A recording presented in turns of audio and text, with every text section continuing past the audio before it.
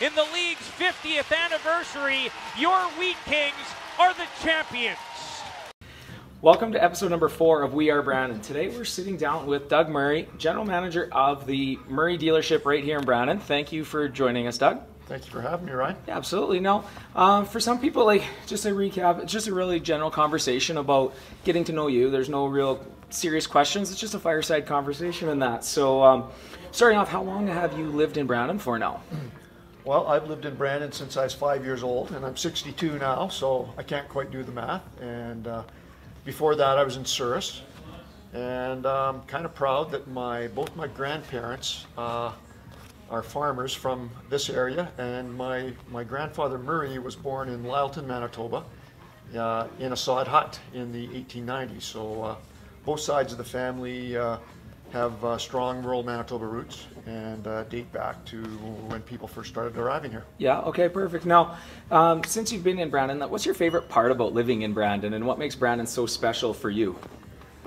Well, I would say my favorite part about living in Brandon is the people. I really like rural Manitoba people. They uh, good, honest, uh, basic people, really uh, great to deal with. Uh, just my type of people. And uh, I also like how close uh, Brandon is to rural Manitoba. I love rural Manitoba. I like the wheat fields, even when they're snowy, and I just I just like everything that you find in, in rural Manitoba. I get out there as, as much as I can. Perfect. Now, um, one thing we try to do with this series is get to know get to know you as a person a little bit. So if somebody isn't a real close friend of you, um, what is something kind of unique about yourself that, that you'd like to share? Uh, well, uh, uh, I think I'm uh, a bit of a well-balanced person in a lot of ways. Uh, I do I do enjoy business, and uh, I also enjoy other activities and. Uh, one of my main leisure activities uh, that maybe a lot of people don't know about is I fly an airplane, a twin-engine airplane. I've got my uh, my instrument rating, so I can fly uh, in the clouds. And uh, and uh, hey, Grant, and so that's that would be maybe something. Yeah, absolutely. So that's kind of a unique one because there's not too many people that that do have airplanes in that, so it's kind of cool. Yeah, yeah. It's a not a huge air. It's a it's a little airplane, not a not a real fancy one. Yeah. Um, what uh, what drives you every day to make yourself better? Like what what do you wake up wanting to do every day to improve who you are? Well, that's a good question, Ryan. Uh, I'm probably guilty of not uh, driving myself to be better every day. Uh, uh, um, what drives me a lot, though, is my life's work is the auto business. Uh, so it's really important to me that we do a very, very good job for our customers and our employees in the auto business. So really what drives me is I want to be, I want to have the best car dealership anywhere for both our customers and our employees. And that really drives me. You know, we only get to live life once and uh, it'd be a shame uh, to just do it uh, mediocre. And I really, every day, uh, uh, I try and improve because it's, uh, it's constant improving uh, necessary. Yeah, absolutely. So, I mean, obviously it's a family dealership and that. So, have you always been passionate about the cars since you've been a little guy, or was that something you kind of grew into as you got more involved with with the family business and that? Yeah, I've always, you know, cars are so fantastic. You know, the the uh, joy that they bring to your cars and trucks, uh, the uh, just uh, it's fun to have a new car. The freedom they, it gives you. Uh, uh, they're fantastic, and uh, you know, so I've not only loved cars and trucks, but uh, I've loved the auto business and yeah. just uh, all the things that come with that. It's a very, very exciting business, and just every day, it's just fun to be in it. So much so that uh, even though I'm uh, snowy on the roof and a lot of my uh, colleagues are uh, looking at retirement right now. Uh, I've got no plans no to plans. retire anytime soon. I'd like to keep at it because it's so much fun. I couldn't imagine uh, doing anything different. Yeah, absolutely. Now, um, I've gotten to know you a little bit. Our, our, kind of families go back a little bit in that. So I know a lot of the accomplishments you've uh, you've you've had, whether it be in business, in, in personal stuff, and that. But what would you look back and say has been your greatest accomplishment in your career so far? Well, I would say that uh, I'm partners with my three brothers and uh, was partners with my father up until his uh, death a couple of years ago. And I think I could speak for everybody in saying the thing that we feel best about uh, Ryan is uh, probably all the career opportunities that we've uh, provided over the years. You know, Yeah. we've uh, uh, we we have over 30 dealerships across Western Canada, and uh, uh, you know we've set a lot of people up in their own dealerships, and we have many managers in those dealerships, and we have many salespeople, and uh, it just feels really really good to uh, to help people uh, succeed and, and get ahead. And I know that we've uh, we've helped a lot of people in their careers, both uh, financially and just their quality of life. Yeah. Okay, perfect. Now, Jen and I do quite a bit in the in the community, and we've had a few chats about that over the little while here. But are, you guys are the best. I don't know of anyone in town better than uh, than Ryan and Jen Shields. You guys just do so much. Uh, it's it's fantastic.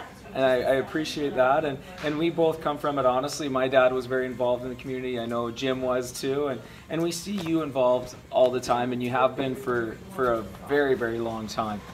Um, what what are you most proud of from whether it was an organization you're involved in, or a specific committee, or um, maybe a project or something throughout our community? What kind of stands out for you is, is when you look back and you're really proud of?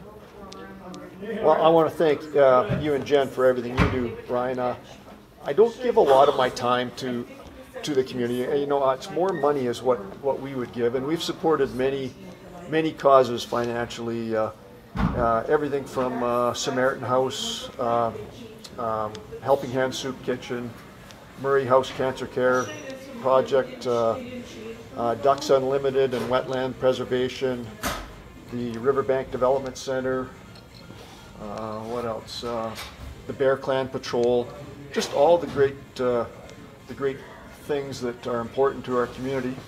And uh, I was gonna say you got a little bit of a, a guest with us here. Who's uh, they got a, who- is this Ben see- resident jumped This up is with? Ben. Yeah, that's my dog Ben. He uh, he definitely uh, is a good friend of mine. uh, but uh, yeah, just those sorts of things. And uh, so I wouldn't say there's any one project that's uh, uh, they're all so important, and we just try and do our share. You know, we're not up to the level that you and Jen are, but we certainly want to do our share and want to be a responsible community member and, and be involved. Yeah, absolutely. Now, as we've talked before, and uh, in all the previous episodes, it's not a business. It's not to highlight your business or any businesses. But I, I'm remiss to, if I don't ask. Over the course of your career, how has business changed for you? I mean, I know in our business how quickly things have changed and continue to change. But looking all the way back to when the first dealership started, or when you first got in, how has the business actually changed and evolved? Well, it's just uh, the way you and Jen are using the internet to uh, to further your business, Ryan. Uh, it's certainly the uh, it's the uh, internet that's the big change in our business. Just the way we market vehicles, uh, used car department especially. Uh, uh, really, we we put all our used vehicles up on the internet. Uh, we need to have good pictures of them. They need to be up there at our very best price. Uh, you know, there's uh, uh, there's no there's no room for uh, for discounts really anymore because uh, uh, everybody's on the internet. They're comparing your vehicles to somebody else's, and uh, we need to put our best foot forward. So uh, that's been a huge change in, in, in our business over the years. No, I can imagine. Um, now, the, the one staple with, with every, I end every episode with this one question, and it's kind of near and dear to my heart as we grow our kids into uh, what we hope to be great humans and great community people. But looking back over your entire life and, and everything, if there was one message you could give to the youth of today, what would you kind of say to them? Well, I would say uh, start your day with a, uh, a green smoothie, at least one lit liter of uh, green smoothie. It's the best uh, thing to put in your tummy first thing in the morning. Uh, I would say sleep with your window open uh, year round. You know, lots of fresh air. Fresh air is really good for you. So, Yeah. that, and uh, more seriously, I would say, um, uh, you know, uh, when you're my age, 62 years old, uh, looking back, there's always some things that you wish you, you could see that you could have done better and differently. And uh, of course, it's too late. You can't go back. But uh, you know, I wish I would have maybe uh, talked to more people back then when I was younger, sought out some good advice, and maybe they could have just altered uh, the direction I took. You know, not that I made any huge mistakes or, or grievous errors. There's always little things that you wish you would have done a little little bit better. Ryan, Yeah. I'm sure you're. Uh, if you look back, there's the odd little thing you'd like to change up too. So, uh, just. Uh, just some good advice along the way from the right people. And sometimes you need to uh, dig deep to get that advice. You know, it just doesn't come right away. You, you sort of need to ask a few questions and really uh, and really get that. But uh, so uh, you know, I would say for young people and really anybody to to uh, search out some uh, good advice and, and listen to what the person has to say. You don't have to obey, but you, it's always good to listen. Yeah, absolutely. So perfect. Well, that's kind of wraps it up. It kind of got, got through all the questions I was hoping to get through. Um, thank you very much for joining us today. Thank you very much, Ryan, and thanks for all you and Jen do, and uh, congratulations on your, your successful business. And uh, you're uh, you're a real uh, inspiration for uh, other people in the community. I appreciate that. Thank you very much. So, and then uh, thank you guys for watching, and we'll see you again next month.